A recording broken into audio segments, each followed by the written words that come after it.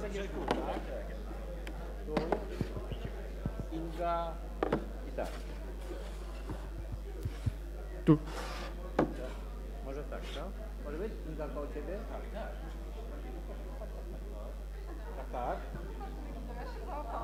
Na kanapie z panem Henrykiem może być? Tu. Dobra. Zrobimy tak. Przemieszanie. Dobrze.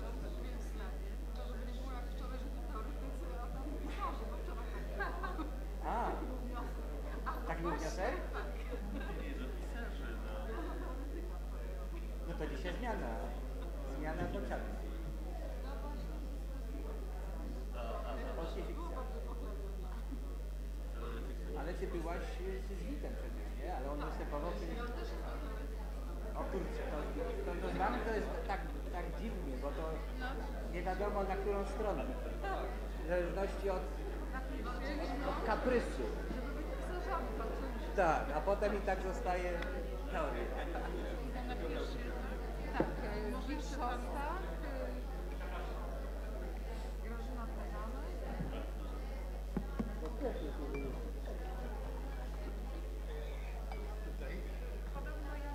Henryku, zapraszam.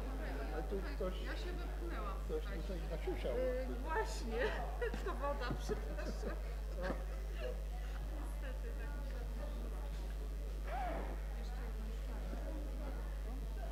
Ja się nie krytykuję, bo Dzień dobry Państwu. Michał Paweł Markowski, dyrektor artystyczny Festiwalu Konrada. Witam Państwa serdecznie na spotkaniu, które nam się powiększyło. Za chwilę wytłumaczę dlaczego. Spotkanie poświęcone, nie wiem czy mogę tak powiedzieć, geografii kulturowej albo, albo tożsamości kulturowej. Zobaczymy jak, y, jak y, y, całą rzecz przedstawi prowadzący, którego za chwilę przedstawię. Dla nas jest to niesłychanie ważne, wa- ważne pasmo, ważny wątek. Zajmujemy się co roku tego rodzaju kwestiami. W zeszłym, w zeszłym roku, być może Państwo pamiętacie, rozmawialiśmy o Śląsku i to była bardzo żywa dyskusja, bardzo mocna, z bardzo mocnymi tezami, płomiennymi manifestami przynależnościowymi itd. itd. Dzisiaj, e, biorąc pod uwagę temperamenty naszych gości, mam nadzieję, że jestem pewien, że, że sytuacja będzie podobna, a więc przedstawiam e, najpierw prowadzącego zachowamy tę kolejność. Piotr Śliwiński, profesor Uniwersytetu Poznańskiego. Witam serdecznie. Niezapowiedziana w programie Inga Iwasiów. Henryk Waniek po raz kolejny na naszym festiwalu i Brygida Helbig, którą witamy serdecznie. Jak Państwo widzicie, zrozumieliśmy to po, y, po fakcie. Pasmo, albo nie wiem, ziemie odzyskane w polskiej literaturze, pasmo zachodnie od Szczecina aż po Wrocław i, i, i, i niżej. E, Oddaję głos y, Piotrowi Śliwińskiemu, który, jak sądzę, przedstawi szczegółowiej naszych, naszych gości. Dzień dobry Państwu, bardzo, bardzo mi miło. Kraków i Festiwal Konrada po raz kolejny nas wszystkich zaskoczył o 13.30. Nie spodziewałem się tak licznej e, publiczności. E, Będziemy rozmawiali w rozszerzonym e, składzie, choć myślę sobie, że moglibyśmy ten skład rozszerzyć jeszcze bardziej. Widzę w pierwszym rzędzie siedzącego Jerzego Ilga, który ze Śląskiem ma sporo na pieńku, a gdzieś mi mignął Grzegorz Olszański, który również śląską frakcję mógłby bardzo łatwo e, wzmocnić, a widzę tu jakieś osoby o bardzo podwoistej e, dwoistej e, k- kondycji polsko-włoskiej, a, a, a, a wszyscy jesteśmy z różnych dziwnych miejsc. Inga Iwasiów jest ze Szczecina, jest e, znaną mm, badaczką literatury, krytyczką literatury, a ostatnimi czasy przede wszystkim twórczynią e, literatury. Jedną z tych osób, które obok Brygidy Helbig i paru jeszcze innych e, pisarzy, wspomnę tylko o Arturze Danielu Liskowackim, sprawiły, iż e, Szczecin został miastem, miejscem odkrytym. I jest jedną z tych osób, które mają, jak myślę, tę, tę nadzwyczajną zasługę, że odkrycie Szczecina nie dokonało się za cenę jakiegokolwiek uproszczenia tej kwestii. E, Krótko mówiąc, wolę twierdzić odkrycie Szczecina niż e, mm, posługiwać się słowem mitologizacja, e, po, pogłębienie symboliczne, dodanie znaczeń, upiększenie, sentymentalna aura, która miałaby się nad tym miastem czy miejscem unosić dzięki pisarstwu. Jest takie stare marzenie, żeby pisarz dodał miejscu y, y, uwznioślającego znaczenia. Otóż mam wrażenie, że mamy tu do czynienia w każdym zresztą z przypadków e, e, z komplikującym znaczeniem, pogłębiającym znaczeniem, a nie e, po prostu chwytającym za, za serce. Oczywiście Inga jest też osobą kojarzoną bardzo silnie z perspektywą, z perspektywą kobiecą w swojej twórczości wszelakiego rodzaju, naukowej, krytycznej i pisarskiej. To w części pisarskiej, znowu troszkę podobnie jak w przypadku pani Brygidy Helbig, e, mm, oznacza przede wszystkim skupienie na, na relacjach ludzkich. Perspektywa ko, ko, kobieca to e, wy, wydaje mi się, nie, nie wiem na ile to jest prawomocne określenie, a na ile grzeszę, wobec litery, liter, litery tej definicji kobiecej literatury, to jest e, przede wszystkim pewna sztuka widzenia człowieka, czy też tego, co pomiędzy ludźmi się, mm, się kształtuje i co ich określa. Jeśli Ingo pozwolisz, to na tym e, poprzestanę. Nie zacytuję, żadne, nie zacytuję żadnej wypowiedzi, ponieważ e, e, twojej wypowiedzi spisanej, ponieważ jesteś tutaj niezwykle miłą Jestem niespodzianką. w gronie. partyzantką, w związku z tym i tak za Tak. długo mówiłeś, za co dziękuję. A, Na- za- nie, można, nie można dziękować za, za, za zbyt długą wypowiedź. Pan Henryk Waniek jest jednym z ostatnich twórców. Tutaj dobieram słowa. Czytałem wywiad pana Henryka Wańka z Magdaleną Rabizą-Birek, y, y, w którym mm, y, kategoria twórca, a już zwłaszcza artysta, okazała się mm, niechętnie widziana przez, przez Pana. Ale jeśli wolno, jest jednym z ostatnich twórców, którzy tak rejwodzą w różnych dziedzinach z równym e, po, powodzeniem. Uprawia, jak Państwo wszyscy wiedzą, e, ma- malarstwo, rysunek, grafikę, scenografię, e, uprawia krytykę sztuki, mm, eseistykę i, i prozę w sensie ścisłym. Zauważyłem, może o tej prozie, parę, parę bibliograficznych przypomnień. Dziady berlińskie z 1984 roku, wydane w oficynie niezależnej, by, był to tak zwa, była to tak zwana publikacja bezdebitowa y, w przedświcie. Y, Potem pojawił się w 1994 roku Hermes w Górach Śląskich, dalej opis podróży mistycznej z Oświęcimia do Zgorzelca, Pitagoras na trawie w 1997 roku, swoista trylogia, potem inny Hermes, potem głośna bardzo książka pokazująca się Śląsk z perspektywy, czy śląskość, doświadczenie śląskie z perspektywy niemieckiej, Finis mm, Silesie, mm, po, po, powieść, która e, wy- wydaje się mieć szczególne znaczenie w dorobku, ponieważ, e, e, ponieważ przeniosła tego autora z kręgu znawców do kręgu dość licznych, czy wręcz po prostu licznych czytelników. Martwa natura z niczym, wyprzedaż duchów, sprawa Hermesa, mm, Katowice Blues, miasto z duszą. Katowice to wyborny temat, to jest wstęp, rzecz jasna. Notatnik i modlitewnik e, mm, drogowy, bodajże ostatnią książką jest jak Johannes Kepler jadąc do żegania na Śląsku zahaczył o, o, o księżyc. E, To, to się y, y, zdarza e, na tej trasie. Chciałem powiedzieć, że poszukując elementarnych e, informacji, zauważyłem, że hasło w Wikipedii obszernej i, i powiedziałbym wyjątkowo, wyjątkowo starannej, przedrukowywane w różnych innych kompendiach, bardzo moś, mocno podkreśla śląskość, to śląski artysta. Tak się bodajże za, zaczyna to, e, e, to hasło. W rozmowie, o której, o której już wspomniałem, e, mm, padają takie e, między innymi słowa. Więc tak, mówi pan Henryk Wanik, wszystko zaczyna się w raju, a naszym, chyba jedynym rajem jest właśnie czas dzieciństwa. Mówi, e, mówi człowiek urodzony w 1942 roku w Oświęcimiu, e, który dali Bóg e, ani w tamtym roku, czy może zwłaszcza w tamtym roku, ani w żadnym innym roku z żadnym rajem się nie kojarzył. Ale dodaję, w Katowicach urodziłem się po raz drugi, zimą 45 piątego roku. E, To niezmiernie ciekawe, te, te, ta wypowiedź o tym, jak, jak to jest urodzić się, być dzieckiem nierozumiejącym swojej przestrzeni e, w sąsiedztwie, może nie najbliższym, ale jednak przecież bardzo bliskim sąsiedztwie e, obozu zagłady, mm, wy, wydaje mi się niesłychanie ważne. Ale wyciągam inny jeszcze fragment z innej wypowiedzi. Mówisz do swojej rozmówczyni, zwraca się Henryk Wanik, mieszkańcy mieszkali, mieszkałem, jakby chodziło tylko o mieszkanie i mieszkańców. Mieszkałem we Florencji czy w Nowym Jorku, z czego nie wynika, że dokonał się tam z mojego powodu jakiś kataklizm. Rzecz w tym, że oni tam żyli, ci Niemcy wysiedleni. Byli gospodarzami i właścicielami tego miejsca, zresztą wespół z Polakami, Czechami, Użyczanami, Żydami. Powiadasz przez kilka wieków, ale tu nie chodzi o jakieś wymierzalne stulecia, tylko o hańbę, jaka się dokonała w kilkanaście miesięcy, dorównując, a nawet przerastając całe zło, jakie światu przyniosło 12 lat hitleryzmu. O tym my Polacy w ogóle nie chcemy rozmawiać, ani nawet myśleć, a kiedyś trzeba będzie się wreszcie rozstać z tą sowiecką chucpą, w którą Polska została wciągnięta.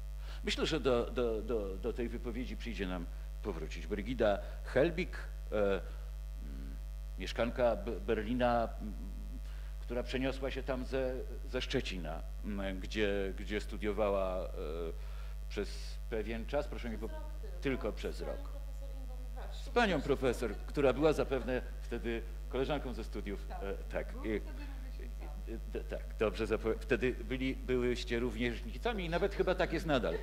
E, po czym się przeniosła do Berlina, gdzie, gdzie stu- studiowała slawistykę i gdzie na slawistyce znalazła, e, znalazła zatrudnienie, a zatem i ona jest, e, pa, pani Brygida jest bardzo e, różnorodną twórczynią, mm, poetką. E, Wiersze Jaśminy, Hilfe, Pierwszy tomik ukazał się w Berlinie w 1997 roku, a drugi w wydawnictwie Forma szczecińskim, wydawnictwie, które nawiasem mówiąc bardzo Państwu polecam, bo wydaje mi się ogromnie ciekawe i coraz ciekawsze. Jest to jedno z tych y, wy- wydawnictw y, nieobliczalnych, czyli, y, czyli bardzo, bardzo interesujących. Zbiory opowiadań, nerdowce, inne mm, ludzie, wydawnictwo Forma Mm, W 2011 roku na Połuwa, Gdańsk, to, był, to była wcześniejsza to powieść, wcześniejsza książka Anioły i świnie w Berlinie z, pią- z 2005 roku i Niepko z 2013 roku. Jeśli y, y, y, Fini Sil- Silesie odegrał, jak e, ta książka odegrała szczególne, szczególną rolę w dorobku pisarskim e, pana Henryka, to wydaje mi się, że Anioły i świnie odgrywają podobną rolę w dorobku pani Brygidy Helbig. A do tego pisze rzecz jasna po niemiecku i po polsku książki literaturoznawcze, w tym, w tym książkę mm, o Marii Komornickiej wydanej w Krakowie w 2010 e, roku. To zawsze jest dla osób, które kolekcjonują książki o Komornickiej bardzo ważne wydarzenie. Bo jest jednak różnica, mówiła między nami a osobami, które mieszkają w Polsce, ale także najmłodszymi, które w ogóle nie przeżyły tego głębokiego rozdarcia, tęsknoty, poczucia obcości, a czasem i dyskryminacji, przynajmniej na początku pobytu w Niemczech. Dopóki, mm, dlaczego o tym, e, o, o tym mówię? Dlatego, że te, temat emigracyjny, bycia tam albo bycia tu i tam jest dla pisarstwa Brygidy Helbig e, niesłychanie, niesłychanie istotny. I tak jak mówiłem o Indze, że e, raczej miesza w stereotypowych obrazach, to samo e, o mieszaniu w stereotypowych obrazach emigracji mógłbym powiedzieć w odniesieniu do pani Brygidy. E, Przy tym te stereotypy się na siebie nakładają. Jest heroistyczny, romantyczny, o romantycznym rodowodzie, zmitologizowany obraz emigracji jako wychodźstwa, wygnaństwa, bycia gdzieś w e, przestrzeni obcości, która nigdy nie przestanie być e, przestrzenią własną, ale przecież od dwudziestu kilku lat kształtuje się inny, inny obraz, inny pogląd, w ramach którego bycie tu czy tam, cóż to za znaczenie, prawda? Jesteśmy raczej na chwilę tam, z wyboru tam, jeśli tam, mm, to e, e, waga tego wyboru nie jest e, inna, ani większa, ani mniejsza e, od wyboru pozostania tu. To, to jakby bez znaczenia. Otóż mam wrażenie, że pani Brygida e, chce nam swoimi książkami powiedzieć, to znaczenie istnieje. Pod warunkiem jednakowoż, nie, że nie poddamy e, go żadnemu uogólniającemu, generalizującemu zawłaszczeniu. Pod warunkiem, że zobaczymy to znaczenie przez, przez postać, przez bohatera że zobaczymy przez e, jednostkowy los, nie los emigranta jako takiego, tylko los człowieka, który tak się składa, jest e, e, emigrantem. Dopóki nie poznamy samych siebie, nie możemy też poznać i zrozumieć innych, mówi. Musimy najpierw odkryć, jakie mieszkają w nas demony, jakie są mechanizmy naszych reakcji. Jeżeli nie rozumiemy siebie, to reagujemy jakoś automatycznie, bez głębszej świadomości. Czynimy w świecie dużo złego, wydaje mi się także innym ludziom, bo nie pojmujemy ani innych, ani siebie. Więc sądzę, że naszym podstawowym, wcale nie artystycznym zadaniem i obowiązkiem jest poznać i zrozumieć siebie. Proszę zwrócić uwagę, tu cały czas mamy raczej do czynienia nie z modelem, nie z, nie z paradygmatem, nie ze zjawiskiem społecznym. To nie jest to myślenie, które otacza, atakuje nas, e, niszczy mm, e, w ostatnich tygodniach w dyskusji, politycznej dyskusji czy przedwyborczej dyskusji o emigracji, gdzie, która pełna jest w gruncie rzeczy pogardy dla tej jednostkowości, mm, e, zawłaszczenia, instrumentalizacji, uogólnień, ożywiania rozmaitych e, e, stereotypów, bo nie ma w niej żadnego e, szacunku dla konkretnego człowieka. Tak mi się politycznie powiedziało. E, W angielskim tłumaczeniu naszej dyskusji pojawia się taka, wydaje mi się, interesująca możliwość, która, której, której nie oddaje polszczyzna, choć jestem e, stąd, czyli skąd też jest zgrabne bardzo. Where is here?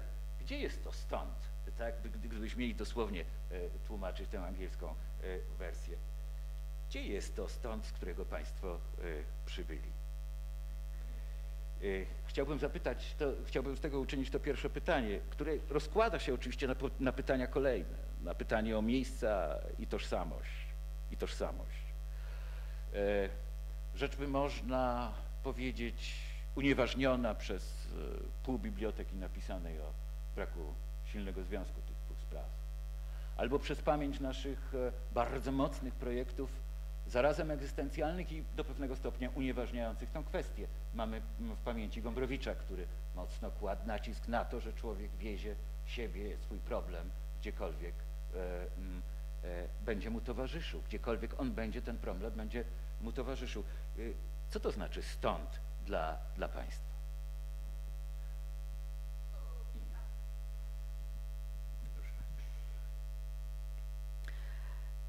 Na mojej stronie facebookowej widnieje takie hasło wypowiedziane, e, fraza wypowiedziana na konferencji, na której byłyśmy z Brygidą w Słubicach. Powiedziałam tam w dyskusji, odpowiadając na podobne pytanie, taką frazą: Muszę utaplać się w prowincji. I któraś z moich koleżanek to hasło zapisała i później wprowadziła na mój autorski profil. To mi się bardzo spodobało, zachowuję to już od kilku lat, bo mm, to chyba oddaje istotę rzeczy. Taką potrzebę mm, bycia w, w tych sprawach, które są sprawami bardzo bliskimi, czasem małymi, czasem niewygodnymi, nic nie mającymi wspólnego z mitologiami właśnie, nie, ma, nie bardzo wzniosłymi, tylko takimi do taplania się, tak jak w kałuży, w błotku, ale swojskim, bo dzieci lubią, jak Państwo pewnie pamiętacie, taplać się w błocie i, i czasem są za to karceni przez dorosłych. Więc em, taka postawa e, bycia pisarką, która lubi się potaplać, nie w czymś złym, nie w czymś brudnym. Nie, to nie to skojarzenie. Tylko potaplać się po to, żeby poczuć. Tak jak dziecko chce poczuć e, strukturę wody, strukturę błota, strukturę świata. Taki pisarka, pisarz, myślę, dobrze jest, kiedy próbują rozpoznać to swoje miejsce poprzez takie drobne ruchy i małe pytania. E, Bo mm, oczywiście pytanie, skąd się jest, w przypadku ziem odzyskanych, zawsze używamy tutaj e, znaku głosowego też, żeby wyrazić swój dystans do tej kategorii, kategorii, która nas wychowywała, moje pokolenie, Brygidy pokolenie. Więc zawsze, kiedy mm, e, chcemy się dookreślić w, w tym miejscu konkretnym geograficznym i politycznym, to przypominamy sobie, że żyliśmy w mitologii upraszczającej, piastowskiej mitologii, e, piastow, e, mitologii powrotu, mitologii prawa własności, twardej mitologii, która była wyrażana hasłami na sztandarach i która tworzyła bardzo ścisły i właściwie niedyskutowalny paradygmat. W związku z tym, kiedy tamto przestało działać, to zaczęliśmy rozpoznawać, co to wszystko może oznaczać. I to były mm, te drobne ruchy i one są dla mnie do dzisiaj bardzo ważne. Drobne opowieści. E, o tym wszystkim, co dzisiaj się aktualizuje, właśnie wówczas, kiedy rozmawiamy o uchodźcach i kiedy okazuje się, że dość nośne jest mówienie o tym, że mieszkańcy mm, ziem odzyskanych to w przeważającej części właśnie uchodźcy, jacyś uchodźcy, czy przynajmniej wychodźcy, czy przynajmniej ludzie, którzy szukali swojego miejsca, ludzie, którzy nie przyjeżdżali w salonkach e, z miast i dworów, tylko ludzie, którzy w trudnych warunkach, w warunkach wojny i powojnia, w warunkach wygnania, ucieczki lub decyzji e, życiowej, e, decyzji dotyczącej tego, że gdzieś jakoś trzeba żyć, wyjść ze zburzonych miast. Mówię strasznie patetycznie, wiem, ale robię to specjalnie, bo to jest taka opowieść. Można by było teraz y, na jej podstawie zacząć snuć różne mitologie, które byłyby też mitologiami cierpienia, traumy, rany, bólu. I to też czynimy. Ja sama mm, także takie historie opowiadam. Ale mm, więc mamy to wszystko. Mamy z jednej strony opowieść zmitologizowaną, polityczną, ideologiczną, e, mm, e, opowieść podziału po 1945 roku, e, stref wpływów, m, e, które przechodziły przez Polskę. Mamy tę drugą, opowieść głębszego wchodzenia w historie rodzinne, w politykę, w wydarzenia XX wieku, także skłaniającą do uproszczeń w wielu miejscach. I mamy tę trzecią perspektywę, która mówi: Jestem stąd, czyli e, spojrzę tej prawdzie w oczy, potaplam się w tej prowincji. Nie będę udawała kogoś innego, tylko spróbuję zrozumieć e, i rodziców, i dziadków, i sąsiadów, i poprzedników, e, ale właśnie takich, o których opowiadać można mm, z perspektywy intymnej, prywatnej, nie tracąc oczywiście z oczu tego, że byli rozrzucani e, wpływami historycznymi. Ale nie zaczynać od tej wielkiej opowieści, tylko od małej, sąsiedzkiej w pewnym sensie. I to jest takie, taka recepta na bycie, na bycie stąd, właśnie wśród ludzi. Panie Henryku, bardzo proszę. Pan chyba gdzieś kiedyś powiedział, że Śląsk to taka kraina e, nasycona. Gdyby uderzyć końcem ołówka w mapę Śląska w jakiekolwiek miejsce, to tam trusnęłyby opowieści. Tak, rzeczywiście, coś takiego jest, ale y, to odnosiłoby się raczej do y, pewnego stężenia y, bogactwa tematów, motywów, wątków, którymi jest całe to śląskie terytorium nasycone. Y, No ale żeby y, tak się trzymać tematu, który y, zainicjowała pani Inga Iwasiów, to chciałbym powiedzieć tak, że bardzo mi się, bardzo bliskie jest mi, bliska jest mi ta deklaracja ruchu ku prawdzie. Ergo chciałbym może ostrzej, mm, ostrzej wyrazić to, co w Pani ustach zabrzmiało tak delikatnie, że żyliśmy w mitologii. Y, Powiedziałbym, że żyliśmy i żyjemy ciągle w kłamstwie, y, którym y, cała ta y, geografia naszego kraju jest powlekana, niezależnie czy to dotyczy tych ziem, no z cudzysłowem czy bez, y, odzyskane to jest słowo, którego już nie powinniśmy w ogóle dopuszczać do dyskursu, ponieważ są to najzwyczajniej ziemie odebrane. I to ode- odebrane nie przez ludność polską, tylko po prostu przez polityczne przymierze znawców świata w Poczdamie y, w 1945 roku, y, czyli Roosevelta, y, Stalina, wielkiego męża polityki, y, no a nade wszystko Churchilla. Y, Po prostu oni wymyślili Polskę i my tę Polskę mamy z całym kłamstwem politycznym i ze wszystkimi konsekwencjami no, o bardzo rozległych kontekstach. Y, Ja gdzieś tam może i nawet w cytowanym przez pana profesora wywiadzie chyba też i wspomniałem, że y, Śląsk, bo przede wszystkim o Śląsk mi chodzi, y, jest mm,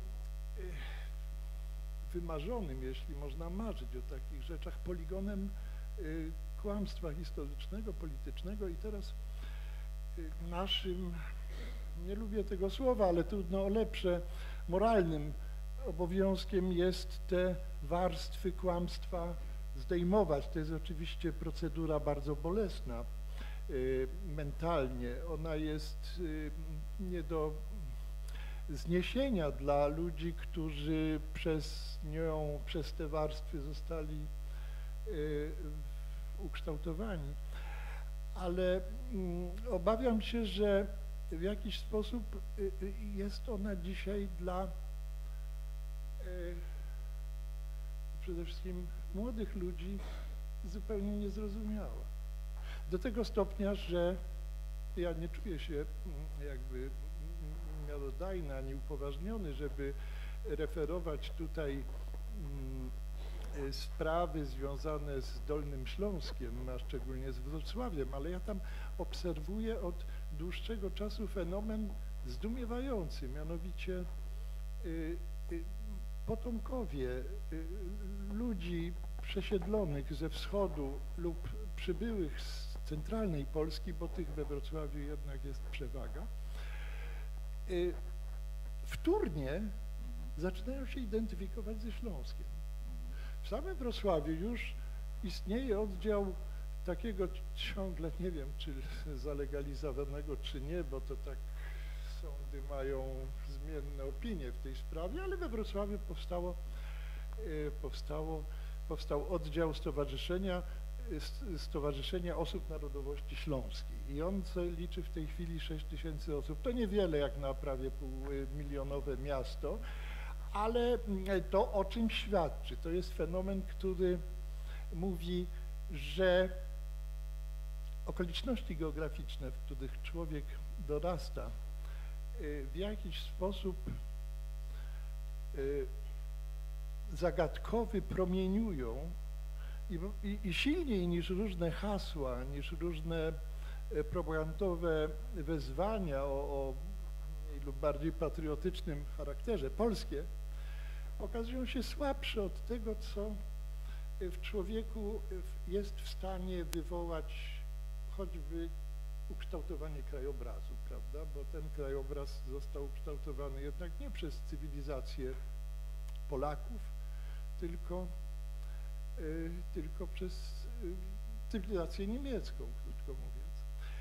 Y, Więc to, to dotyczy Dolnego Śląska, który, na którym w roku 46 pozostał niecały procent ludności lokalnej.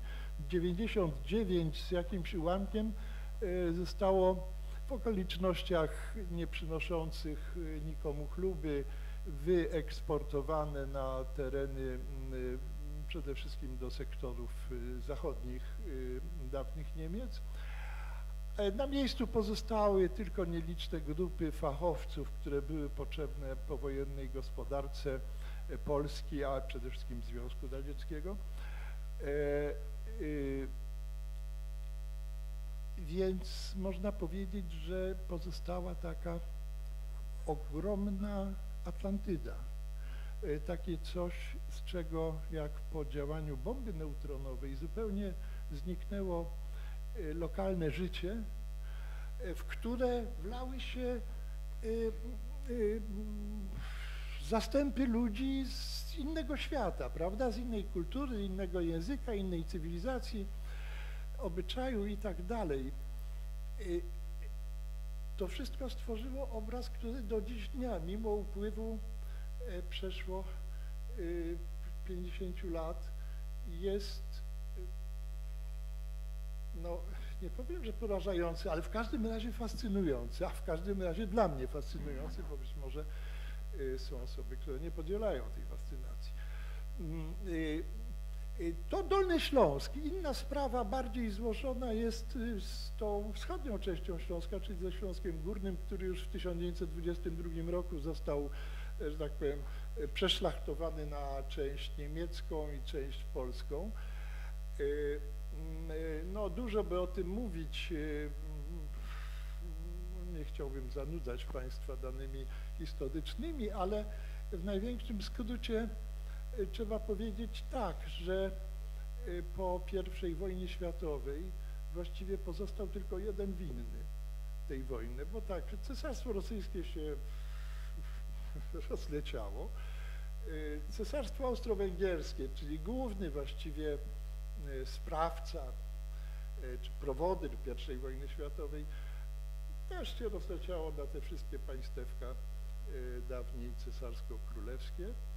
E, No a na placu boju zostały Niemcy, które, na które spadł cały ciężar y, i reparacji wojennych, i ciężar moralny za wojnę, no a przede wszystkim tłumy inwalidów i osób sfrustrowanych tym doświadczeniem, o którym historycy mówią, że II wojna światowa była pestką w porównaniu z I wojną światową. Ja się przychylam do tego poglądu, jakkolwiek bliżej chronologicznie nas jest to, co e, wiemy mm, głównie z filmów wojennych o II wojnie światowej, prawda? Tak jakby film był dobrym nauczycielem historii. No ale niestety jest. E, y, Powstająca Polska po 18 roku oczywiście zwęszyła świetnie interes, żeby się na tym trupie cesarstwa niemieckiego y, trochę mm, jakby urządzić. E, Stąd, zresztą z obu stron niemieckiej i polskiej, mm, Śląsk stał się terenem bardzo intensywnych działań dywersyjnych. To się tak mówi o zrywie ludu śląskiego i tak dalej. Jest może nie taka e, piękna, e, jak w tych książkach historycznych, które na tę okazję powstały. E, I krótko mówiąc, w wyniku trzech powstań śląskich najcenniejsza część y, w sensie przemysłowym, gospodarczym Śląska znalazła się w Rzeczpospolitej Polskiej. Y, No i y, to niby nic wielkiego, jakkolwiek ta linia podziału przecież przebiegała, mówiąc obrazowo, przez środek podwórka, przez środek rodziny, które rodziny były różne, były polsko-niemieckie. W ogóle używanie tutaj przymiotnika Polski jest też niezupełnie trafne, bo przecież ten język rzekomo polski, jakim się posługiwano na Śląsku, to był taki dialekt lokalny ukształtowany w takim samym stopniu przez y, kulturę, przez kulturę języka polskiego, a jak i przez kulturę języka czeskiego, także w okolicach Rybnika można na przykład dzisiaj słuchając y, tych autochtonów tak zwanych, mieć wrażenie, że mówią językiem raczej murawskim niż czeskim. Y, Więc taka to była polskość na Górnym Śląsku. No ale oczywiście tutaj wszystkie te moce zła, jakie pozostały po y, traumie I wojny światowej, w pewnym sensie optowały za Polską. Niemcy były skompromitowane. E, No ale ci poczciwi Ślązacy, którzy oddawali głos za Polską, zresztą wcale nie w przewadze, bo jednak w tym plebiscycie y, mm, znaczącą przewagę miała ludność niemiecka. E, ta ludność jeszcze nie wiedziała, co to jest Polska. Zresztą Polski jeszcze nie było. Polska miała rząd, ale nie miała granic. Polska miała jakieś ulotne, sezonowe sojusze, które mogły być obowiązujące, ale jak wiemy z doświadczenia nie były obowiązujące. E, I e,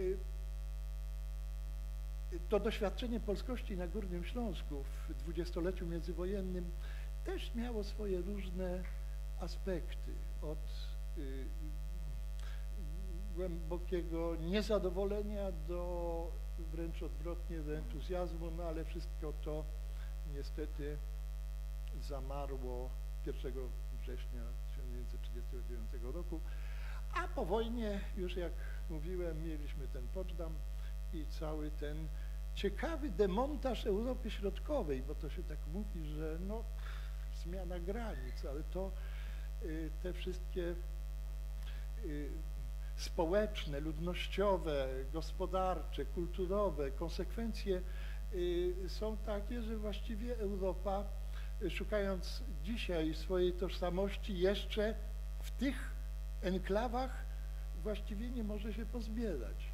Być może jakoś perspektywa Unii Europejskiej Deus ex machina sama rozwiąże te problemy. No ale wracając i kończąc równocześnie do początku, y, myślę, że y, lubię to cytować, bardzo zasłużony pszczelarz, to nie ma nic wspólnego z literaturą ani kulturą, być może nawet Ślązak, ksiądz, zresztą wyklęty z kościoła, Jan Dzierżoń na swoim nagrobku, jak na Ślązaka przystało, kazał sobie wykuć następujący tekst, który równocześnie jest jakby takim złośliwym żartem z hymnu niemieckiego. Wahrheit, Wahrheit über alles. Prawda, prawda nade wszystko. I wydaje mi się, że to takie pośmiertne zawołanie księdza Jana Johannesa Dzierżonia y, w jakiś sposób można dzisiaj, e, czy raczej powinno się przyjąć. Aha, bardzo dziękujemy. No, przyjmujemy to w wersji językowej niemieckiej, y, bo, bo, bo, bo, to wtedy brzmi naprawdę poważnie. Tak, Y, Wrócimy na Śląsk y, za, za chwilę. Pani Brygida Helbig w powieści Niepko także tę perspektywę niemiecką wysuwa na, na plan pierwszy. To rodzaj sagi, sagi rodzinnej, e, której bohaterami są ci, którzy obecnie mieszkają w Szczecinie, ale którzy wywodzą się z niemieckich, e, nie, przepraszam, z Niemców e, galicyjskich. To Niepko, ten raj utracony, to, to jest wieś na południu Polski, w Galicji, gdzie zostali osadzeni w, m, w czasie, kiedy te tereny należały do Cesarstwa Austro-Węgierskiego. Byli tam mitologicznymi pionierami, którzy, którzy musieli wywalczyć dla siebie, to znaczy wy, wykarczować dla siebie ziemię, zbudować domy, którzy musieli znieść ciężkie warunki, którzy poznali biedę, którzy nie odnieśli własnego, y, nie odnieśli wielkiego sukcesu, nie mieli wielkiej przewagi nad Polakami czy Ukraińcami albo Żydami mieszkającymi na tym terenie, ale mieli to miejsce za własne. A potem historia ich pociągnęła w różne, w różne, w różne strony. Mm, Ta rodzina, o której pani opowiada, pozostała w Polsce, poniekąd się spolszczyła. E, mm, ale zarazem ta Polska, która ich przyjęła, ich też odepchnęła. E, ogromną rolę odgrywa, odgrywa w tym wszystkim pamięć, ciekawość, e, ciekawość przyszłości. Ta perspektywa indywidualna, ta, ta, ta ludzka perspektywa, ten pryzmat okazuje się w moim przekonaniu niesłychanie, niesłychanie interesujący i komplikuje, jak myślę, to pojęcie, którym się chętnie posługujemy, pojęcie małej ojczyzny. Prawda? Nie, nie mogłoby chyba to spotkanie się obyć bez tego pojęcia, choć już nie tak bardzo entuzjastycznie, jak powiedzmy 15 lat temu się tym posługujemy z różnych, z różnych względów. Prawda? Znaczy to zmitologizowanie małej ojczyzny w latach 90. później zostało choćby za sprawą e, Grossa, książki Sąsiedzi i tak dalej, mocno, e, mocno mm, mm, zatarte. Ale tutaj pomyślałem sobie, że ta perspektywa indywidualna jest dla Pani tak niesłychanie istotna i pojawia się w ogóle cała taka antropologia, taka antropologia oparta na empatii, tak, tak bym to jakoś określił. To znaczy, kiedy pojawia się pojedyncza osoba, to w gruncie rzeczy y, znika cała wiedza, cała gotowa wiedza o świecie. Y, Czy to będzie osoba, y, postać z tej powieści, o której mówię, czy to będzie ktokolwiek z bohaterów Polaków osiedlających się w Berlinie, czy to będzie ener małżeństwo enerdowców, tak, postenerdowców, z, z, z, z opowiadań, y, jedno z opowiadań enerdowcy, y, y, inne ludzie, jakby zarażonych pewnym systemem y, y, społecznym, pewnym systemem wartości, tak bardzo zarażonych, tak głęboko, że oni go zaczną reprodukować i coś, to najpierw był ofiarą, potem okaże się mm, y, okaże się okrutnikiem, właściwie właśnie w takich relacjach ludzkich. I sobie myślałem, czy, czy, czy to jest dobre odczytanie? Czy pani chce powiedzieć, że właściwie historia, która nam rysuje rozmaite scenariusze, daje gotowe języki do opowieści, pe pewnego typu opowieści, ona mogłaby być potraktowana jako zbędna wtedy, gdybyśmy próbowali za każdym razem brać poszczególną osobę i zastanawiać się, co na przykład miejsce znaczy, ale wyłącznie dla niej, a nie y, y, dla wszystkich innych, którzy są podobnie w podob, po, po, po, pozornie w podobnym położeniu, ale w gruncie rzeczy w innym, bo są kim innym. Tak, owszem, to indywidualne podejście wydaje mi się bardzo istotne, ale nie oznacza ono, że te powieści, opowieści, narracje wspólnotowe nie mają znaczenia. One dla tych indywidualnych losów mają znaczenie. Te jednostki jednak są w jakiś sposób mitologiami, opowieściami swojej wspólnoty, także swoich przodków zarażeni. To nie znaczy, że identyfikują się jeden do jednego z nimi w ich życiu ścierają się różne światopoglądy i dyskursy. Oni wciąż na nowo zmuszeni są podejm do podejmowania y, jakichś kolejnych wyborów i poddawani wpływom nie jednego światopoglądu, tylko wielu, prawda? Więc mnie interesują te indywidualne wybory, indywidualne historie. Są one niemniej jednak dość mocno osadzone w narracjach wspólnotowych. Mm, tylko tak jak mówię, nigdy y, nie jeden do jednego. Jeśli bym mogła coś jeszcze mm, więcej tak, powiedzieć tak, na temat proszę. w ogóle tego, z czym kojarzy mi się temat y, naszej dyskusji, jestem stąd, czyli skąd, tak? To pytanie zaczęło dla mnie mieć właściwie znaczenie dopiero w Niemczech oczywiście. Wcześniej nikt mnie nie pytał skąd jestem, takiego pytania w Szczecinie, a mieszkałam tam przez 20 lat. Oczywiście nie, nie usłyszałam. W tym czasie też nie interesowało mnie specjalnie to, z kim, skąd są moi rodzice. Te pytania zaczęły pojawiać się później. Natomiast często pytałam mojego ojca, i to jest ten element autobiograficzny w Niepku, e, skąd to niemieckie nazwisko i nigdy nie mogłam e, doczekać się odpowiedzi. To, to mnie nurtowało. E, natomiast kiedy wyjechałam do Niemiec, na przestrzeni tych ponad już ja nie wiem ile to jest lat, wyjechałam w roku 1983 do Niemiec, nie od razu do Berlina, najpierw do Zagłębia Rury, w Bochum e, studiowałam e, slawistykę. Mm, od tego czasu to pytanie powtarza się e, bardzo często. Między innymi także dlatego, że utożsamia się tam mnie niekiedy ze względu na wygląd od razu z osobą z zagranicy, ponieważ przypominam niektórym, czy Turków, czy osoby po prostu z Europy Południowej. Więc z tym pytaniem jestem konfrontowana na co dzień. Między innymi dlatego zależało mi bardzo na tym, żeby nauczyć się jak najlepiej niemieckiego, żeby mówić w miarę możliwości bez akcentu, to stało się dla mnie takim płaszczem ochronnym niejako. To jest ta zbroja, to co zdobyłam i czego nie dam sobie odebrać, dlatego nawet lubię bardziej mówić po niemiecku podczas dyskusji panelowych, mimo że polski bardzo lubię i kocham, ale czuję się w polskim bardziej bezbronna, a niemiecki jest tym językiem, który mnie chroni, bo ja się go nauczyłam właśnie po to. Um, Czyli to pytanie nie było niewinne zadawane mi w Niemczech. Chodziło o to, żeby mnie jakoś sklasyfikować, czy jestem z tych gorszych obcokrajowców, czy z tych lepszych, czy ze wschodniej i południowej Europy, czy może jednak z zachodniej, a może jestem na przykład francuską, tak, to już zupełnie inaczej. Także to pytanie zawsze kojarzyło się, czy często kojarzyło się jednak w tamtym społeczeństwie, może dzisiaj trochę mniej, ale nadal, z jakimś określonym wartościowaniem.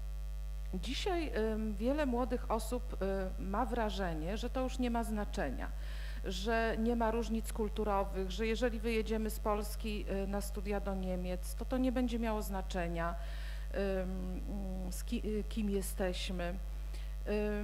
Niemniej jednak tak nie jest te różnice kulturowe nawet i w młodym pokoleniu, ze względu właśnie na te odmienne narracje, którym jesteśmy karmieni od dziecka, na odmienne kulturowe rytuały i pewne wartości, e, te tożsamości trochę się jednak różnią i warto o tym pamiętać, aby uniknąć chociażby nieporozumień, czy niezrozumienia wzajemnego, czy fałszywego zrozumienia zachowania tej osoby z innej kultury.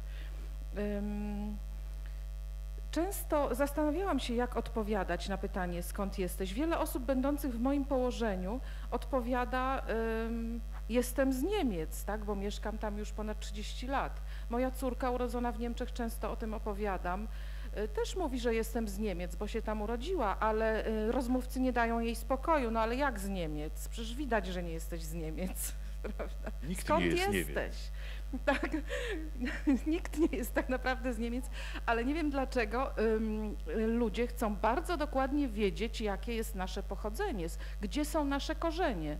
Te korzenie jednak y, w jakiś sposób odgrywają rolę, jak najwyraźniej.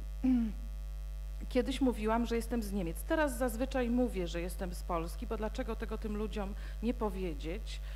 Y, Znam osoby, które wymijająco czy doprowadzając problem do absurdu odpowiadają, że są z Chin. Nie wiem dlaczego. Także róż, różnie sobie z, z tą sprawą radzimy. Y, Co jeszcze, jeśli chodzi o to pytanie? Skąd jestem, to oczywiście dla mnie nie jest tylko pytanie o miejsce, ale także na przykład o lektury, które mnie ukształtowały, czy jakieś wydarzenia bardzo istotne, intensywne, które y, miały największą wpływ na moją osobowość. Więc tutaj wyjazd, powiedziałabym, właśnie ten wyjazd z, z Polski do Niemiec był takim najbardziej intensywnym punktem w mojej biografii, najbardziej dramatycznym w tamtych czasach y, żelaznej kurtyny, y, który, mm, ym, który z, emocje, które przeżyłam wtedy są do dzisiaj we mnie bardzo mocno skumulowane i są motorem, wydaje mi się także w dużej mierze mojej twórczości. Więc jestem także stąd, jestem z tego momentu właśnie emigracji, y, kiedy musiałam zderzyć się jako bardzo młoda osoba z zupełnie inną kulturą, niekoniecznie przyjmującą mnie z otwartymi ramionami. Kiedy opowiadałam o tym ym, w grupie osób pracujących nad własną biografią, takie grupy są w Niemczech bardzo modne, po 30 latach opowiadając o, scenie, o tej scenie, kiedy pociągiem z Poznania ruszam przez, w nocy 1 listopada 1983 roku do Niemiec, y, nagle wybuchnęłam straszliwym płaczem. Nie zdawałam sobie nigdy sprawy, że, że te emocje po tylu latach jeszcze są i nie, nie zostały one opowiedziane do końca jeszcze przeze mnie y, i przepracowane. Bo jednak ta utrata, jak się okazuje, miejsca, w którym się urodziłam, w którym żyłam 20 lat, była czymś straszliwie bolesnym.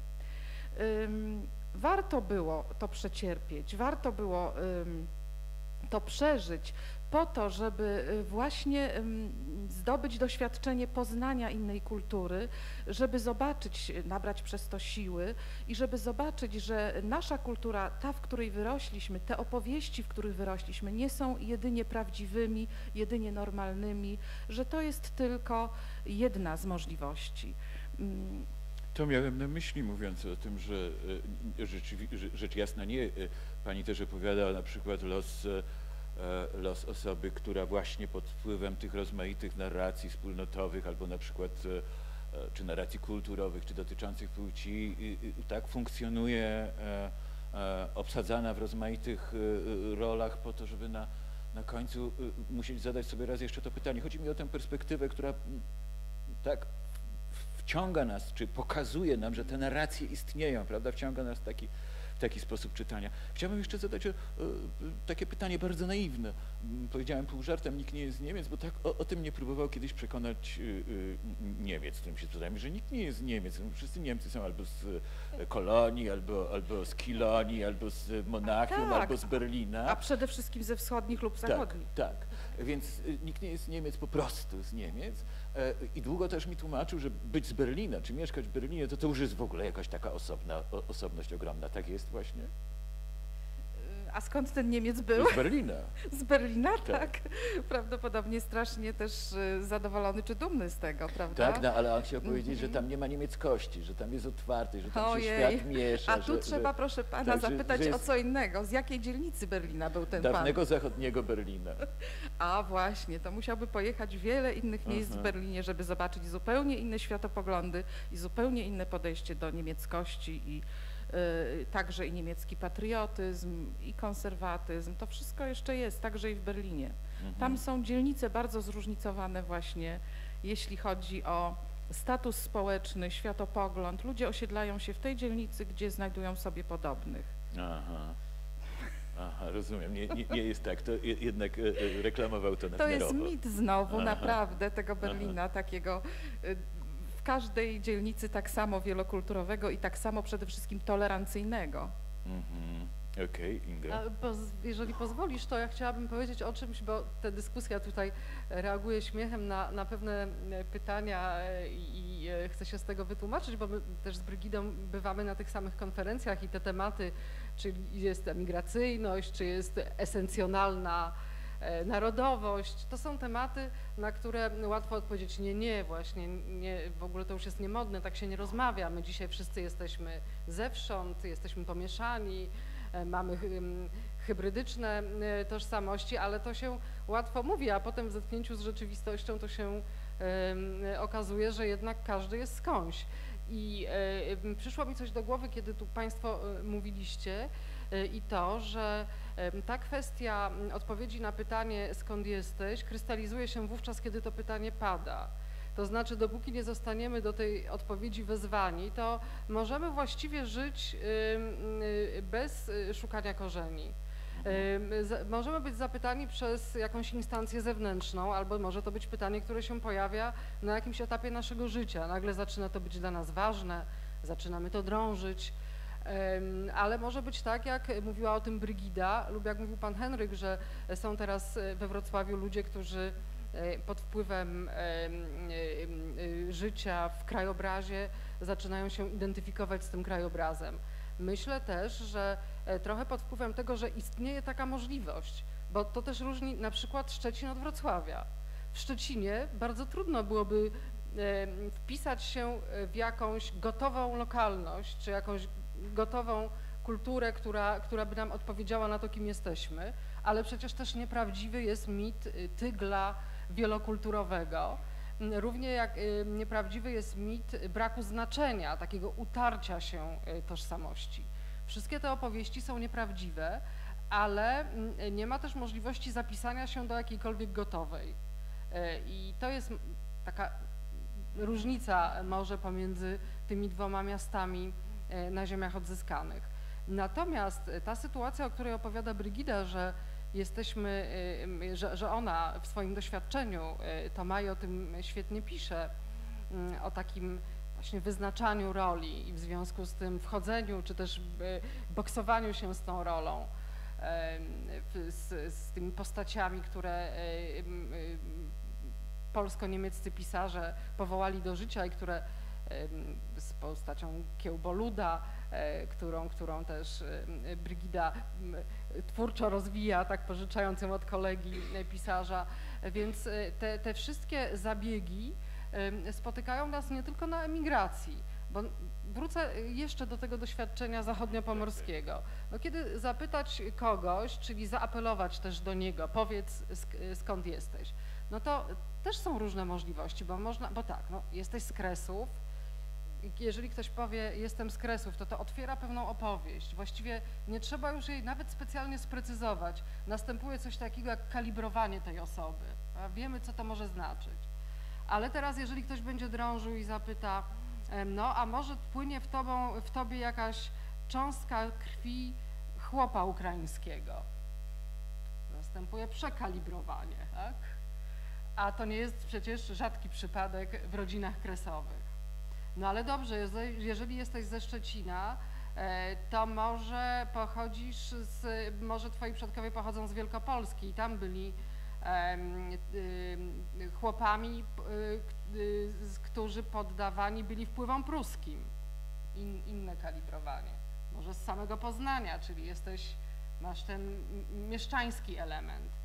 A może, mm, e, co jest bardzo najmniej możliwe, płynie w tobie cząstka krwi niemieckiej, mówię najmniej, bo podobnie te, te e, 3%, e, e, które mm, szacuje się, że na Pomorzu Zachodnim, podobnie jak we Wrocławiu, e, historia jest bardzo podobna. E, Ludzie, którzy zostali, których można by nazywać autochtonami, to w Szczecinie to było około 3%. E, Ale były jeszcze przecież te tożsamości, o których pisze Brygida, wymieszane, zakryte. Bohater Brygidy to jest ktoś, kto przecież nie ujawniał, czy wręcz ukrywał e, swoje pochodzenie, ponieważ wchodził, e, no, był żołnierzem, był w armii, w związku z tym e, w polskiej armii, w wojsku polskim. Jakże mógłby być Niemcem e, w wojsku polskim. Więc mówię o tym, bo to jest bezustanne kalibrowanie. Odpowiedź na to, skąd jesteś, nawet w takim planie sagi rodzinnej, opowieści rodzinnej, od razu ustanawia to, kim jestem. A być może mm, odpowiedź na pytanie, skąd jestem, wcale nie oznacza tego samego, co odpowiedź na pytanie, kim jestem. To mogą być dwa różne porządki. Nie musi być tak, że ten pierwszy porządek definiuje mnie w tym drugim porządku. To z pewnością, aczkolwiek nie wyobrażam sobie, abym miał zadać Państwu pytanie, kim Państwo są, prawda? I pewnie w ogóle rzadko jesteśmy pytani, kim jeste, o to, kim może. jesteśmy. Może, może szkoda, ale, ale tak to jakoś, jakoś jest. E, No, jesteśmy w tej historii, e, bo, bo, bo obie Pani mówiły o, o pewnej takiej e, re, redukcyjnym jakimś elemencie e, związanym z, e, z tym pytaniem i odpowiedziami na to pytanie, a nawet może lekko opresywnym. Pani Brigida mówiła, to nie jest obojętne, czy jestem mieszkańcem, mieszkanką Niemiec pochodzącą z Francji, czy, y, y, czy z Polski, prawda? A tym bardziej nie byłoby obojętne, gdyby z południa Europy, albo na przykład jeszcze bardziej z południa z Turcji. Mm, To są takie schierarchizowane, jednak dosyć represywne, związane z sprawowaniem czy chęcią sprawowania pewnej władzy nad porządkiem świata, nad obrazem świata, e, pytania i, e, i, i odpowiedzi. Więc może dobrze byłoby, może rację mieliby ci, którzy twierdzą, świat, w którym to pytanie zostałoby unieważnione, byłby światem, e, światem lepszym, światem, światem właściwszym. Powiem jedno zdanie, to jest utopia, z którą na razie nie mamy do czynienia. Powiedzmy to sobie szczerze. Dlatego musimy wciąż pracować nad, nad pytaniem skąd. A ja, bym Tak. chciała, to prawda, ja bym poza tym chciała, żeby to było tak, żeby to dalej dla nas było ważne, skąd jesteśmy, żeby te opowieści nam przekazywane były ważne, ale żebyśmy mieli także do nich nad, oczywiście pewien dystans, ym, czasem także powiązany z poczuciem humoru, żebyśmy znali i mieli szacunek do opowieści innych wspólnot i żebyśmy interesowali się naszą wzajemną różnorodnością i innością, tak? Natomiast to, że jesteśmy skądś, to jest przecież cała barwność świata. Dlaczego No tak. mielibyśmy dlatego y, zrezygnować z tego? Dlaczego mielibyśmy zrezygnować ze wszystkich różnic? Ja sobie ten świat zrównany wyobrażam jako świat robotów, jakiś taki sterylny, czysty.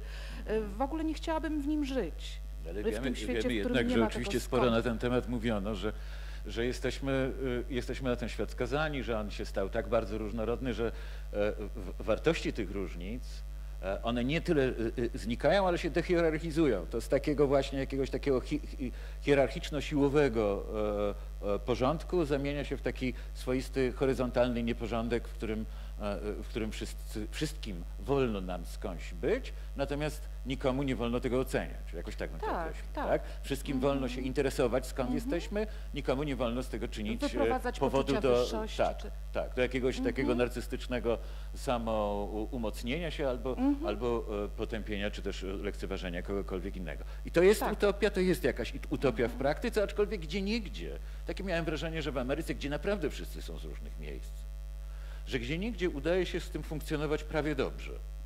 Prawie dobrze, oczywiście prawie dobrze, dlatego że e, dosyć często i łatwo odkrywamy, jak, e, e, jakie są granice tej, tej tolerancji, czy, czy, czy tej takiej swoistej,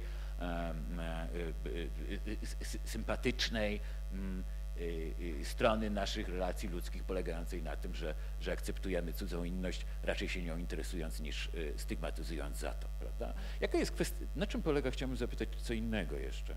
Mm, mm, do czego służy nam pamięć? Pan Henryk w tej, w tej wypowiedzi, która, która bardzo mnie zainteresowała, bardzo, bardzo przejmującej, o, o, o tym, że nie wiedziałem, jak nie mogłem wiedzieć, będąc dzieckiem, mm, e, gdzie, gdzie się znajduję. Nie mogłem tego swojego raju, tego swojego nieba e, zobaczyć. E, on się, on się, ono się zabudowało, zaludniło dopiero po, po, po czasie swojej twórczości, która, do, do której o, o, ogromny dostęp ma, ma imaginacja, wyobraźnia, dużo w niej metafor, symboli. Dostęp ma tyleż przez, przez taką jakby cudzą pamięć i własną wyobraźnię. Chciałem zapytać o to miejsce, pamięć, wyobraźnia, jak się te rzeczy mają do siebie? Mhm. Y, To do mnie. Tak. Y,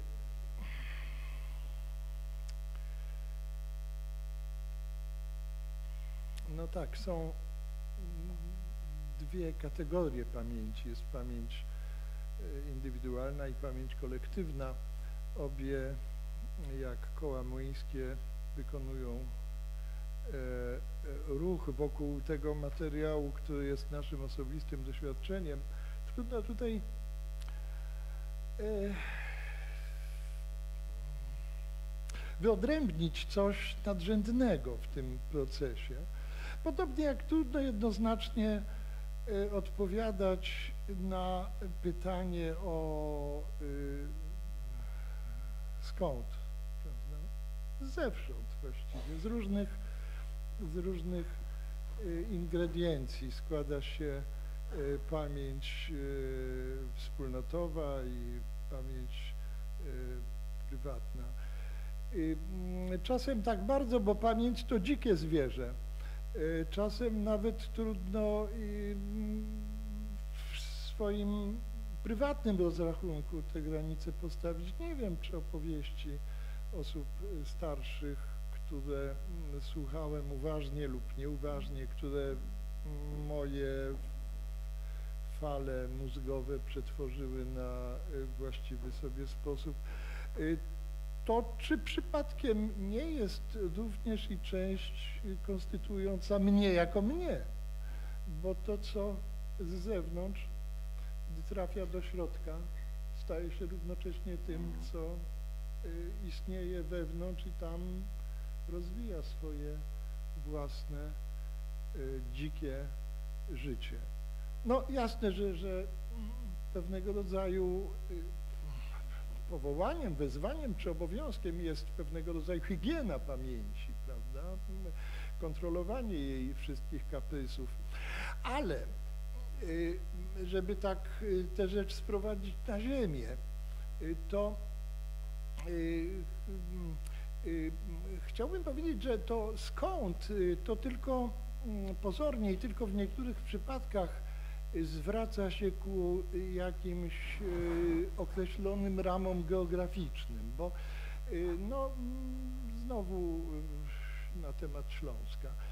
Ten Śląsk niby istnieje w jakiejś określonej geografii fizycznej, ale w geografii kulturowej to na przykład Śląsk jest y, w ważącej mierze, w lwiej części jest zjawiskiem eksterytorialnym, to znaczy pozbawionym swojego geograficznego podłoża, bo wszelkie muzea, izby pamięci, kolekcje różnych skarbów kultury ludowej i kultury wysokiej znajdują się na ogół w Niemczech, na terenie, no już nie PRL-u, ale na, na terenie naszego kraju y, ten proces y, mm, rozwijania pamięci y, dopiero raczkuje, ale jest oczywiście w ogonie wszystkiego, ponieważ może y, zwracać się tylko ku no, na przykład reliktom ostatnich dekad, prawda, ostatniego stulecia w najlepszym razie, a to co starsze to jakoś znalazło się poza Śląskiem i można odnieść takie wrażenie, ja to kilkakrotnie przeżywałem, że o wiele żywsze, jakkolwiek trącające pewnego rodzaju staroświeckością i anachronizmem, moje spotkania ze Śląskiem mają właśnie w Niemczech albo w Czechach, gdzie, jak Państwo pewnie wiedzą, na lewym ramieniu swojego munduru każdy policjant czeski ma godło narodowe i to godło narodowe składa się z herbu Czech, Moraw i Śląska, ponieważ pamięć o tym, że Śląsk jest częścią korony czeskiej jest tam o wiele silniejsza. Ja wolałbym, żeby w godle narodowym Polski był orzeł śląski również obok y, tego orła białego, który to raz ma koronę, raz nie ma korony, raz przypomina kurę, raz wróbla, czasem orła heraldycznego, ostatnio mniej.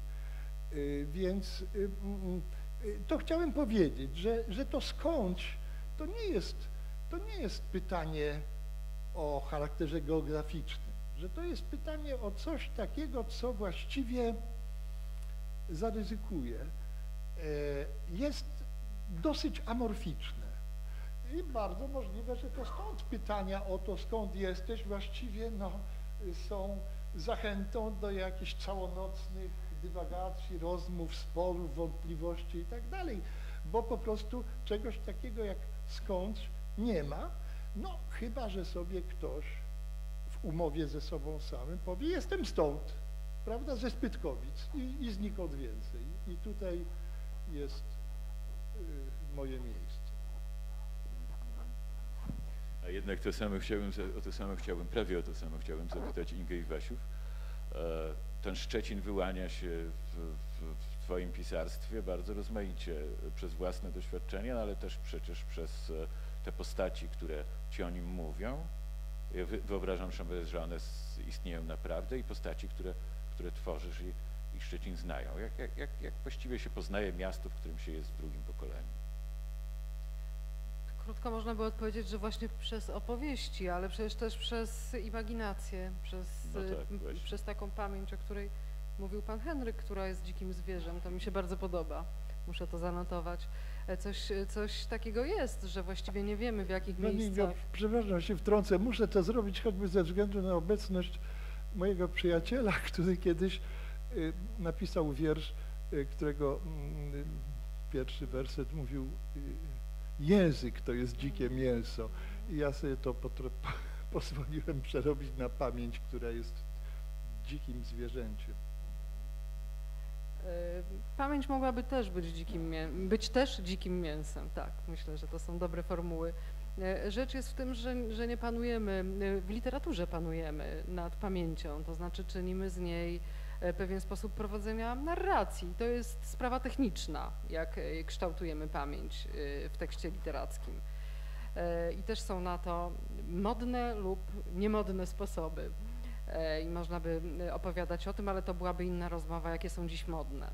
E, Natomiast y, pamięć y, y, rozumiana jako narracja, którą prowadzimy w sobie e, z jakichś powodów i czasem się nią dzielimy, to jest inna rzecz i ona faktycznie przyrasta w dziwny sposób.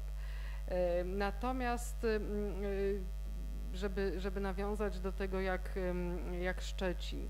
No tu oczywiście ja bardzo boję się o tym mówić, bo to prowadzi do banałów rozmaitych. To znaczy trzeba by znów powiedzieć, że miasto bez pamięci, tak, miasto z zablokowaną pamięcią, miasto milczenia, miasto propagandowego języka i miasto, w którym nagle w latach 90. wybucha potrzeba e, tych wszystkich opowieści e, które nagle mm, e, właściwie nie wie, czy bardziej ma zachwycać się swoją przeszłością niemiecką i opowiadać za Niemców, tak jakby było niemieckie, czy ma przyswoić sobie jakąś część tradycji, czy ma to uczynić pocztówkami w sepi, czy tymi innymi sposobami sentymentalnymi, nostalgicznymi, e, czy ma się buntować.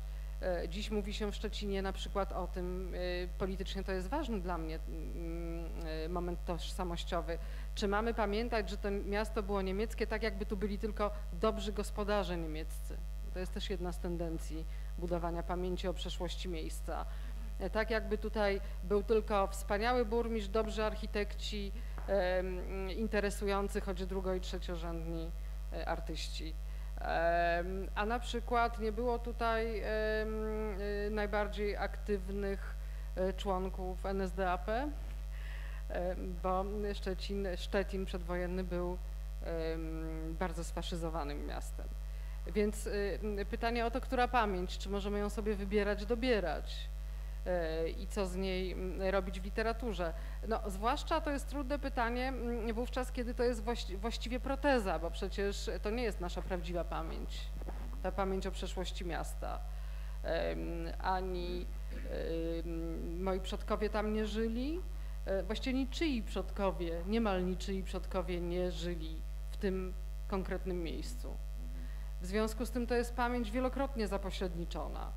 E, Natomiast te wszystkie inne opowieści, te, które, których symbolem jest y, wagon i tobołek, czy walizka, czyli te przywożone opowieści, No to one są wielokrotnie już pokomplikowane także przez y, przemilczenie, bo w pamięci jest też coś takiego, że jeśli się nad nią w ogóle nie pracuje, się zaniedba y, snucie opowieści, to one się jakoś wypłukują.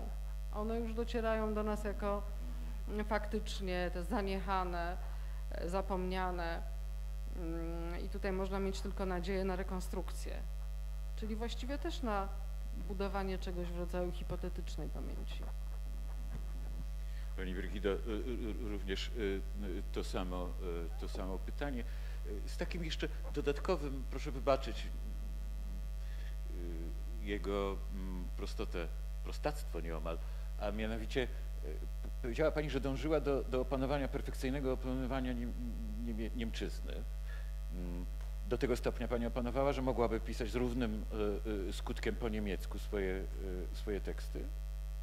Pewnie z innym skutkiem, ale bym mogła. To znaczy, no, w- tym sensie, że byłyby traktowane jako, jako literatura ko, kogoś, kto, kto zna niemiecki Myślę, że tak, tym Mhm. bardziej, że także osoby mm, znające wcale nie tak dobrze język niemiecki, na pewno nieperfekcyjnie, piszą też po niemiecku.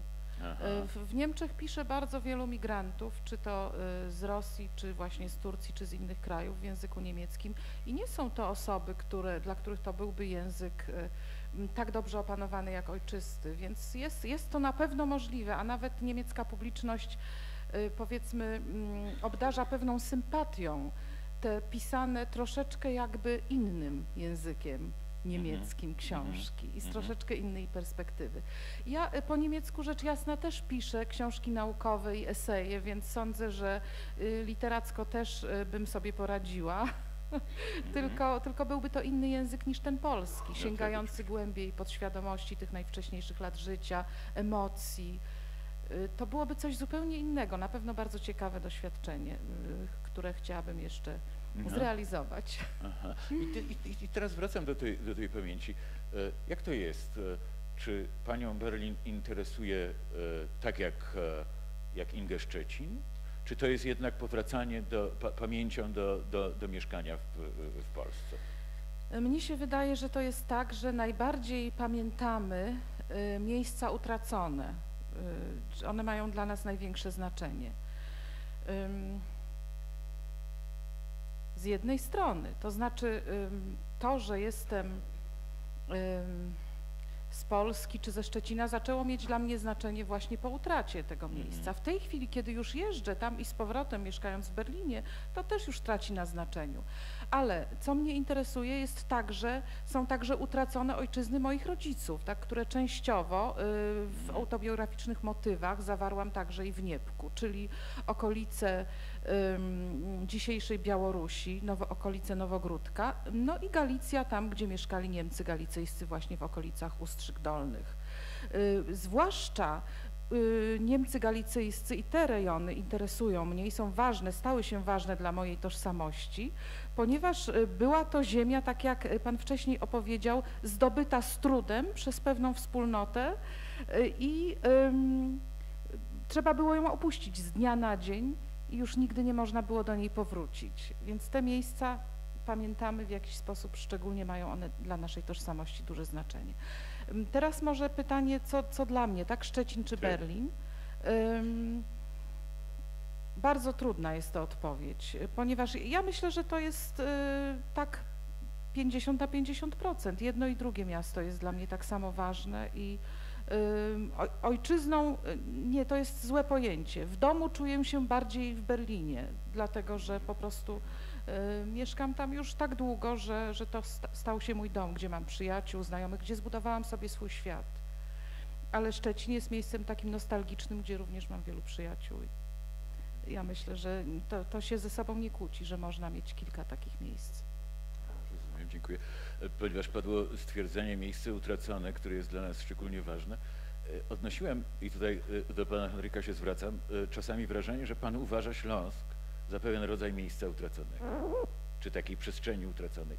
Z tego względu, że to, co sobie wyobrażamy jako Śląsk, jest zazwyczaj Śląskiem spłyconym.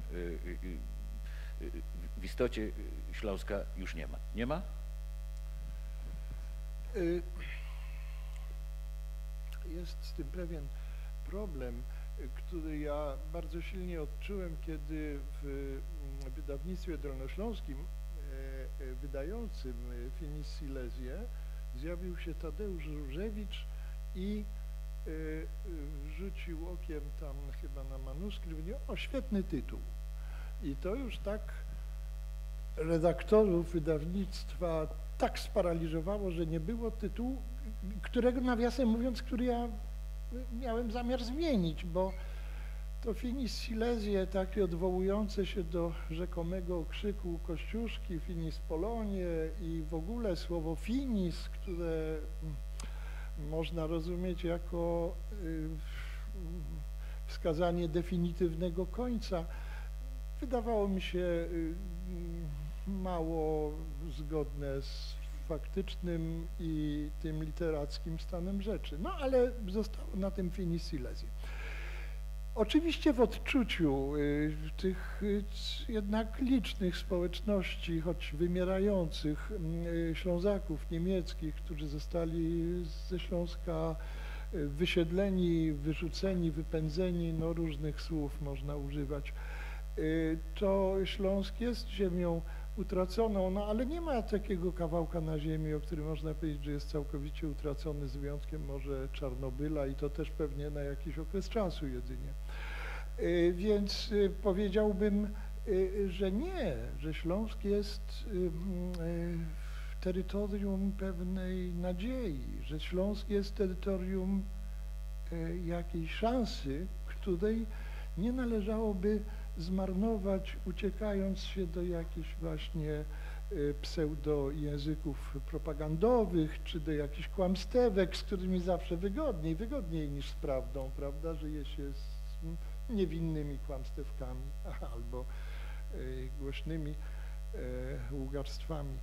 Y, Więc mm, nie podzielałbym poglądu o tym, że coś tutaj zostało stracone, jakkolwiek bardzo wiele zrobiono na to, aby na przykład cały ten górnośląski okręg przemysłowy był w jakimś stopniu terenem po katastrofie, prawda, no ale to już byśmy musieli wejść w jakieś cieniutkie y, zagadnienia z dziedziny ekonomii, gospodarki, eksploatacji i tak dalej. Nieważne. Y, Ważne jest to, że mm, wbrew y, możliwym, y, a niesłusznym mniemaniom, jednak y, na Śląsku, i to ja mam na myśli nie te centra takie kulturowe jak Wrocław, Katowice, Opole i tak dalej, tylko zgoła na prowincji, na wsiach. Tam się rodzi pewien, zresztą to mm, jak to ładnie jeden z niemieckich socjologów nazwał, die Werkstätte eine andere Zukunft, warsztaty e, innej przyszłości, że tam się po prostu i w sensie definiowania tożsamości, pewnych wizji kulturowych, pewnego stopnia, mm, mm, użyję tego słowa w zastępstwie, ekumenizmu międzykulturowego. Y, y, Coś się dzieje takiego, co ja nie wiem, co z tego wyniknie, bo to jest proces, prawda? Ja mogę tylko obserwować, mogę wyrażać swój entuzjazm, y, ale mam nadzieję i tego życzę y, temu zjawisku, żeby y, tam się tworzył jakiś kształt, hmm, przepraszam, że tak to ujmę, lepszej Polski. Bo ta, którą moja śląska, y, choć zbrukana przez Mazowsze percepcja, jednak postrzega jako nie całkiem zadowalającą. I, I tutaj być może to w ogóle dotyczy całych tych obszarów takich, bo przecież nie mówimy o Warmii i Mazurach, prawda, Pomorze Zachodnie, Śląsk, że to, a trzeba pamiętać, że to jest jedna trzecia terytorium naszego kraju, czyli jedna trzecia to nie tak z, nieba spadło, tylko to jest coś, to jest ogromny mm, powierzchniowa, o, y, wielka wartość, że tam się coś takiego dzieje chyba ciekawszego niż na Mazowszu. Być może nie ciekawszego niż w Krakowie, rzecz jasna. Ale, w, Krakowie, w Krakowie można zupełnie spokojnie powiedzieć, że na Mazowszu się nic ciekawego nie dzieje. Y, Tak, tak, tak. tak. Więc ja to jako mieszkaniec Warszawy mm, potwierdzam z ręką na sercu, że jest to po prostu nieszczęście nasze wspólne. E, Ja tylko, e, e, ja, o proszę, ja tylko dodam, że ta jedna trzecia żywi całość, jeśli chodzi o literaturę w moim przekonaniu. To, to, to, to, jest e, naprawdę, tak można by długo rozwijać, jak, e, jak w tych miejscach, e, w Szczecinie, w tych miejscach, jakby to powiedzieć, odzyskanych, pozyskanych, zasiedlonych, nowych, jak, jak, jak bardzo dużo ciekawej literatury powstaje i jak w pewnym sensie Państwo tu obecni są reprezentantami takich gildii pisarskich działających na tych, na tych obszarach. W pewnym sensie kolonia pisarzy polskich, e, mm, kolonizatorami możemy ich nazywać w Berlinie, e, e, też o tym, też o tym e, świadczy. Proszę Państwa, mm, tak. Ja tylko chciałam jedno zdanie mm, dopowiedzieć, bo ja też tak o tym myślę, że jeżeli ten mit ziem odzyskanych oczywiście zasługuje na roztrzaskanie, to coś może, może z niego by można ocalić. E, Kiedy się nad tym dobrze zastanowić, to, mm, to jednak też były ziemie szansy. I tego też nie warto y, zapomnieć. E, Tej szansy, którą y, widać dzisiaj w różnych miejscach, gdzie tworzy się coś ciekawego i faktycznie uciera się jakaś inna kultura. Nie chcę powiedzieć, że to jest koncepcja wielokulturowa i nic takiego nie mam na myśli, ale jakaś, jakieś inne domieszki tutaj grają rolę niż w takim centralistycznym myśleniu e, scalającym e, naszą opowieść o tym, czym jest Polska. Natomiast też, w, jeżeli na to spojrzeć e, w takim indywidualnym rysie, e, to i zadać sobie pytania, jak wiele te dyslokacje też przyniosły. Bardzo. Bo to jest, to jest też e, oczywiście wówczas, kiedy próbujemy takich e, rozliczeń z PRL-em, to, to też próbujemy to zakopać i, i o tym już nie pamiętać, nie chcemy o tym pamiętać, bo nam to też przypomina język propagandy. Ale gdybym ja zadała sobie pytanie, to gdzie ja bym dzisiaj była? E, mieszkałabym na przedmieściach Drochobycza może w dość biednej okolicy, albo może mieszkałabym pod Pleszewem, też w dość biednej okolicy, szczerze mówiąc. E, mam do wyboru, wolę być ze Szczecina. Więc y, y, nawet jeżeli zadać sobie to pytanie w ten sposób, pytając o rodowody, e, to też są pewne zyski z tej dyslokacji. Jasne. E, e, Proszę Państwa, po, powoli zbliżamy się do końca, ale nie tak, tak bardzo, żebym, żebym nie zaproponowała, Państwo zadali jakieś pytania, jeśli macie na to ochotę naszym gościom. Bardzo proszę.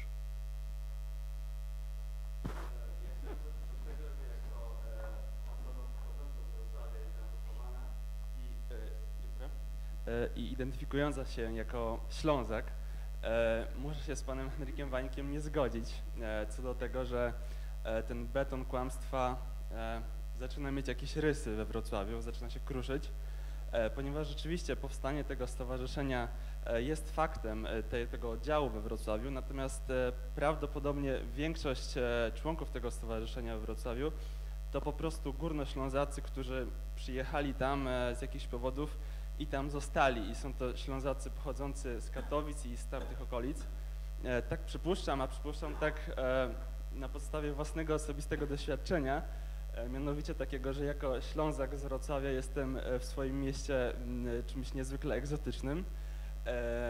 A po drugie, dlatego, że we Wrocławiu powstawały rzeczywiście inicjatywy oddolne ludzi, którzy próbowali reaktywować tożsamość śląską we Wrocławiu i one upadały z tego względu, że nie cieszyły się zbyt dużym, e, zbyt dużym zainteresowaniem. E, I potwierdzają to też diagnozy społeczne dla Wrocławian. E, Dla Wrocławian tożsamość regionalna jest czymś zupełnie niezrozumiałym, przynajmniej na poziomie regionu śląskiego. Wrocławianie nie są w stanie za- zazwyczaj wskazać jakichś artefaktów kulturowych typowych dla swojego regionu. E, I najczęściej, jeżeli odwołują się do jakiegoś regionalizm, regionalizmu, to odwołują się do samego miasta, do Wrocławia, albo bezpośrednio e, do Polski. I biorąc pod uwagę, że jestem socjologiem, e, biorąc pod uwagę, że socjologia raczej wyklucza możliwość, by coś takiego jak tożsamość lokalna nie istniała dla przeciętnego człowieka, czyli była to, to, to naczynie z tożsamością lokalną było puste, a tak właśnie we Wrocławiu jest, e, musi ono zostać czymś wypełnione. I chciałbym Państwa się zapytać, jakie, jak Państwa zdaniem w przyszłości ta tożsamość regionalna we Wrocławiu może się kształtować? Co się z nią może stać? Ponieważ wydaje mi się, że y, wkrótce te zmiany zaczną nadchodzić i zacznie się coś tam dziać. Czy to będzie rzeczywiście odwoływanie się do wtórne do kultury śląskiej, czy może coś zupełnie innego? Dziękuję. To jest chyba bardzo trudne pytanie, ale bardzo proszę. Bardzo trudne, ale ja y, się wykręcę trochę od odpowiedzi, bo y, ja oczywiście wspomniałem, że to ja tylko słyszałem o tym Stowarzyszeniu Osób Narodowości Śląskiej, y, podano mi liczbę. Poznałem dwie osoby, które są tam jakoś aktywne. Jedna z nich pochodzi ze Zduńskiej Woli, jeśli dobrze pamiętam, to pan profesor Wojciech Browarny. A druga osoba rzeczywiście, ale nie pytałem, mogła pochodzić z Górnego Śląska, co moim zdaniem nie ma nic do rzeczy. Yy, yy, W środowisku no, pisarskim Wrocławia jest bardzo wiele osób, Jerzy Pluta, Ernest Dyczek, yy, profesor Norbert Honsza i tak dalej, którzy są górnoślązakami, ponieważ Wrocław dla górnoślązaków jest nadal y, taką duchową stolicą Śląska, no historyczną i to nie, y, czy ktoś jest y, z y, Głogowa, czy z Gliwic, to dla mnie jest sprawa mm, drugiej kategorii. Ja nie wiem, co z tego wyniknie, oczywiście nie jestem socjologiem, chociaż mm, wyznam przy okazji, że mam do socjologii stosunek umiarkowanie sceptyczny, szczególnie kiedy stroi się w piórka naukowości przesadnej, E, ale bardzo możliwe, że dzisiaj ekspertyzy socjologiczne mówią to, a jutro będą mówiły co innego. Ja powiedziałem w którymś z moich ty- tych, y, że to jest proces, że to jest proces, którego kierunków ani rezultatów przewidywać nie będę, natomiast z, z entuzjazmem jestem, y, z entuzjazmem obserwuję pewnego rodzaju procesy, które ten y, fakt y, mm, definiującej się tożsamości y, realizują. I to jest, to jest w moim przekonaniu y, cenne, ponieważ y, dodam to już w trybie dygresji. y, Wyznaję pogląd, że ludzie, mm, którzy mają, y, z, mają zmącone poczucie tożsamości, trochę przypominają takie, przepraszam, że tak to zabrzmi, dryfujące wraki, które są niesione różnymi siłami, raz w tę, raz w inną stronę. Otóż pełne poczucie pewnej przynależności, nie chcę tu sięgać po cytat z ojca Siergieja Bułgakowa, bardzo piękny z jego eseju y, Moja rodzina, co przetłumaczył pan Andrzej y, Turkiewicz jako moja ojczyzna. Tu się zresztą ujawnia taki niedostatek y, niuansów polskim rozumieniu związków z mie miejscem, bo my na wszystko mamy ojczyznę, prawda, na jakiś heimat czy rodzina, to my jesteśmy niewrażliwi zupełnie, tym bardziej, że tak nie bardzo wiadomo, gdzie ta ojczyzna, gdzie jej jądro tkwi. Y, mm, y, Więc y, jednak myślę, że gdy mi ktoś mówi, jestem z Krakowa, czy jestem z Berlina, to y, nie tyle ogranicza obraz swojej osobowości, ile po prostu jasno i pewnie określa swój punkt na mapie y, żywota.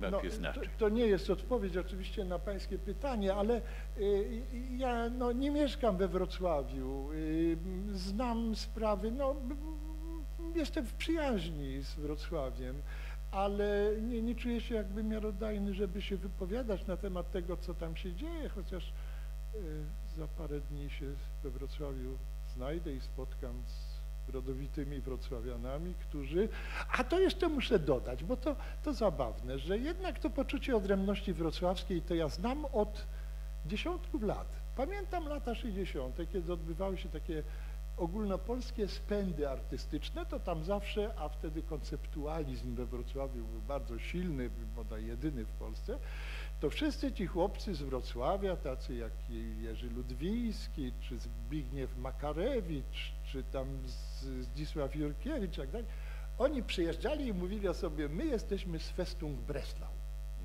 I to byli oczywiście y, czy urodzeni na Kresach, czy dzieci osób kresowych, ale oni byli z Festung Breslau i to poczucie takiej solidarności, przynależności do miasta było bardzo silne już w latach 60., e, pewnie i wcześniej, a już na pewno później. Mhm. Dziękuję bardzo. Wrocław to podobno najszybciej i najlepiej rozwijające się polskie miasto, więc wkrótce, wkrótce e, ludzie będą mówili, jestem z Wrocławia i to będzie wszystko znaczyło. Proszę Państwa, ponieważ nasz czas e, e, dobiegł końca i wkrótce przyjdą organizatorzy, wypędzą nas tutaj bezwzględnie, więc ja proponuję, żebyśmy nawiązując do wypowiedzi pana Henryka Wańka, pożegnali się określając miejsce, skąd jesteśmy. Zatem dziękuję serdecznie pani Brygidzie Helbig z Berlina, łamanego przez Szczecin.